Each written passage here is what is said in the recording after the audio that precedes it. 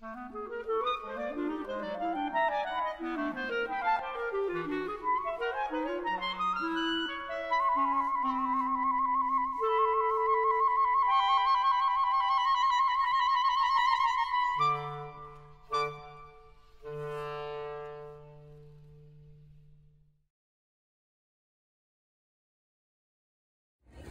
face didn't know who it was. I slapped it a few times and it only smiled blankly. You were not Jane, Nancy, or Emily. I was not Dick, so forth and so on. For the time that we had, I enjoyed being you.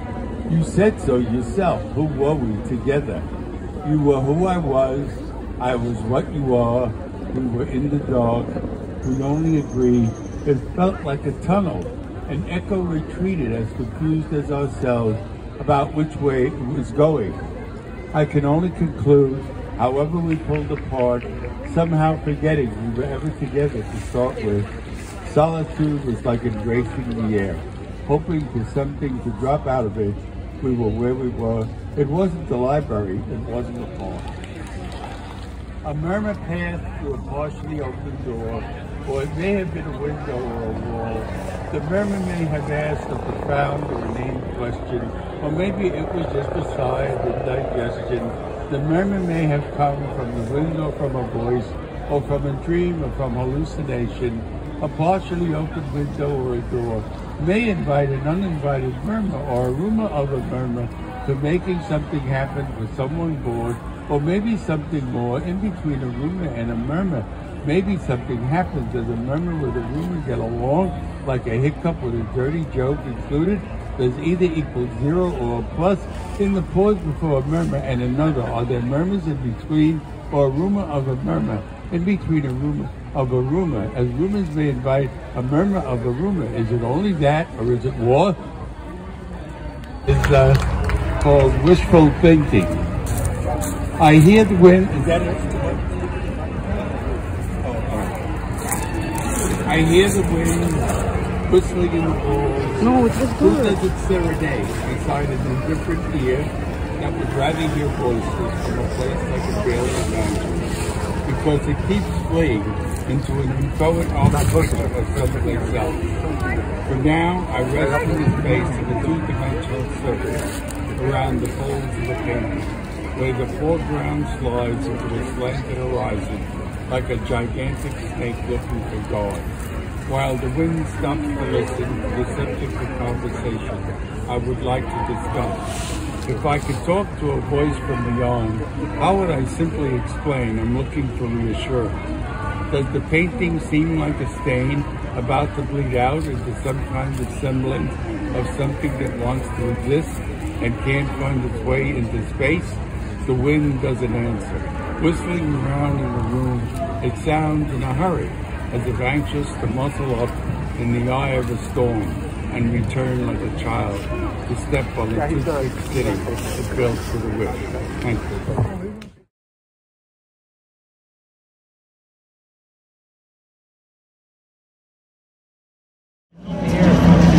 Can you hear me like that?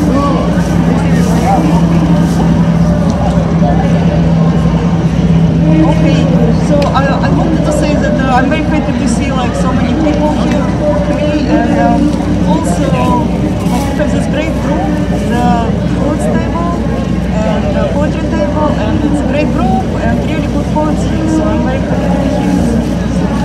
So, um, the first poem it's called uh, okay it's called The Vampire. So when I crossed Washington I saw three vampires sitting by the giant chessboard. One of them made a necklace out of my broken nightmares. Another one studied my soul on his quantum computer. The third one contemplated the eternal question, who want to bed for lunch? Could I join you, I asked. I want to get drunk on blood and fly into the sunset. But you already one of us, he smiled. Didn't you receive a booster the other day? I stammered. Just kidding, laughed the first vampire. What do you think about current events, I asked. Everything is going according to plan. Your plan? They glared at me. Look how your nightmares sparkle in the sun, said the first vampire. Your soul resembles quantum fluctuations, said the second one. Let's get lunch, said the third one. And we took an A train uptown.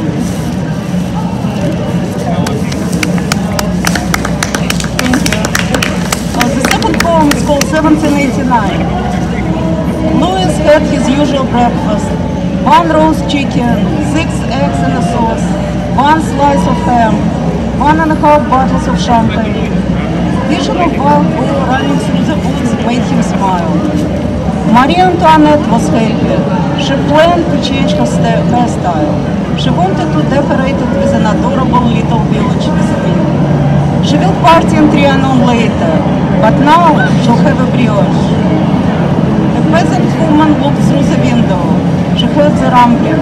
She couldn't tell if it was Santa or growl. She hasn't eaten for two days. She took a pitchfork and left the house. Thank you. The last one is called New York. New York, true romantic. The setting sun turns you into a poet philosopher. Above grimy streets.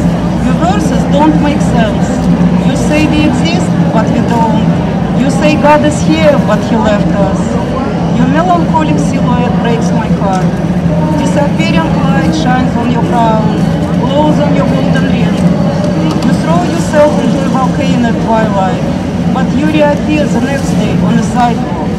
Your magnificent mantle turns into a filthy blanket. Your crown becomes a wretched car. You look delirious and lost.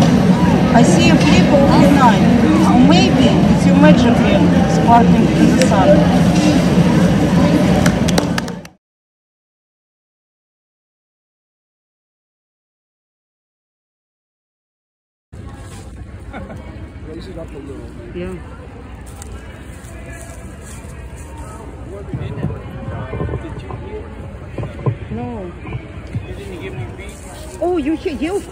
I, did. Yeah, Spoilers. Totally. If you don't like spoilers, you probably should put your fingers in your ears. spoilers. Rosebud's a sled, and Mrs. Bates, she dead. Ahab succumbs to the white whale. The sole survivor is Ishmael. Jane and Molly both say yes. Proud Iago refuses to confess. Well, nobody's perfect. Some like it hot. The wizard turns out to be a bust. As everybody knows, in God we trust. Job gets friendly advice. Gatsby shot. Winston loves Big Brother. Yossarian bolts for the open sea. After much rafting, Jim goes free. Soylent Green is people. OMG. Dr. Jekyll is Mr. Hyde. Spartacus ends up crucified, giving his life for a noble cause.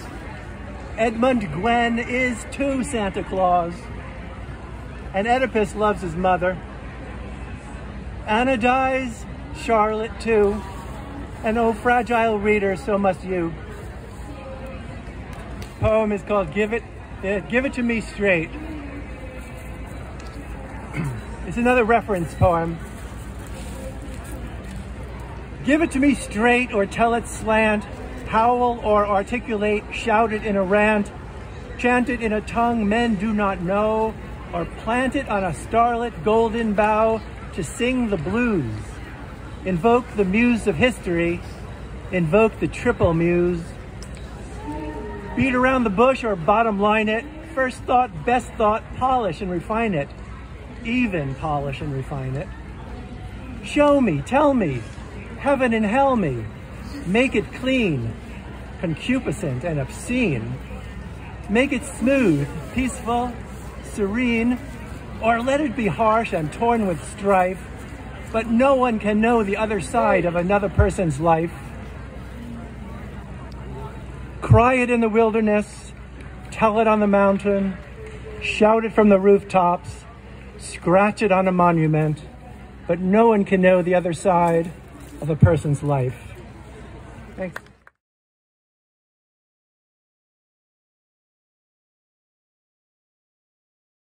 What pounds the shore are my primal drives, for her body is the beach of a thousand seas.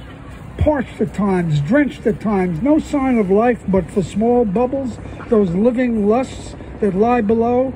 And so I am a vagrant beachcomber, raking my nails over her flesh in mad futility.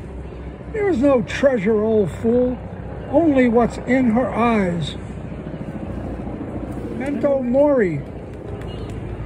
I keep the dead around as snapshot gestures of my inner monarchy to remind me of my mortality.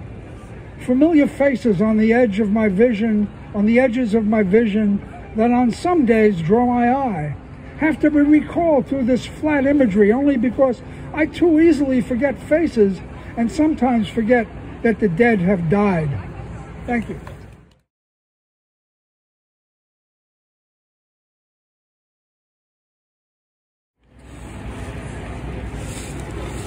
on the other side of Over the Hill. When a beautiful woman sees freshness fading, as shadows hover over her glow, softness spreading to unwelcome places, a name forgotten, a thought misplaced, perhaps two, one after the other. Eventually she might suspect that she has knowingly moved and now lives on the other side of over the hill. The old side, the slow side, where canes and walkers rest in closets that held rackets, skates, and skis. Canes and walkers rest in closets that held rackets, skates, and skis. What can she do? to stifle the scream. So no, I didn't think me. I never dreamed. So unfair and uncalled for. How dare my sparkle leave without apology or a note at least? My youngness gone, suddenly, shockingly, like a sudden squall out of the blue that levels a town, you can barely see the outline in the distance. You are excused from youngness. And ma'am, they call you ma'am. When did it happen that young lady had morphed into ma'am? You in storage, in the archives, living memorabilia, now mature and sensible and wise, out of step. Is this the end of fun? Hey! People you know are dying. They think you look great. They bless each day they are alive. You found a small brown spot on your wrist and you complain. So? So? Oh my God, listen to me. Someone you went to school with is dying. Well, she has her problems and I have mine. Doesn't it embarrass you to talk that way? Well, perhaps. But I'll tell you what really bothers me. On the other side of over the hill, when you step into elderliness, it's very quiet. That bothers me. Who can I talk to without appearing ridiculous, even narcissistic, living here alone on the other side of Over the Hill.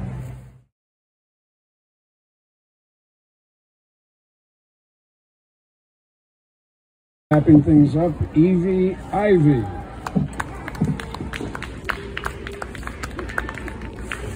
God, that's too low. Uh, I'm not a Thank you. It's okay. All right, all right. Nice to see everybody and to see people without a mask.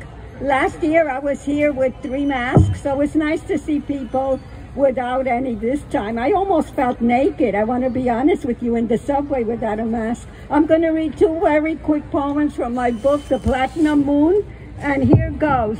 And time is, and time is not a toy. It moves rampant on earth the beauty of days gone, what do they matter as it enables the new panorama? As if there was nothing lost among those broken pillars or skyline, what was buried among sand, water, or tight in the earth. Earth who knows everything and lets it all go. Earth once a mere ball of dust tightened into the now. But time, time is everywhere and yet lost there and nowhere as it moves with itself. Yes, time, time won't be a toy. Thank you. Here goes The Couch and the Dream. Favorites from the book The Couch and the Dream. Even in a dream, the truth is important. How is that when dreams can be so abstract? I dream I don't want a couch taken away. Two men have come to remove it. I tell them, why are you taking it away? Was it the company that said so? Please tell me the truth. Tell me, I demand. The couch seemed to have been special to me. I start to wail and wail as they start picking it up at each end. Please tell me it was the company. Tell me the truth. Tell me the truth. My sad and loud constant wails awoke me. Even in a dream, the truth is important. Even in dreams where things are so surreal. Thank you.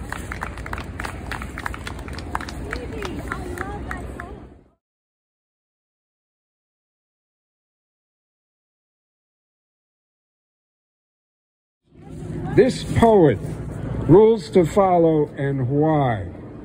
Do not feed this poet or he may follow you home. Do not praise this poet, or you may have to listen to more poems.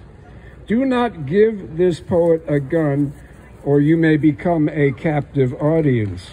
Do not buy this poet a drink, or you may be immortalized in a bad poem. When you hear bad poetry from this poet, take the poem and rub it in this poet's face. Say, bad, bad poet, bad. Perhaps this poet can still be house trained. You won't know if you don't try. Thank you. Poetry Table thanks you.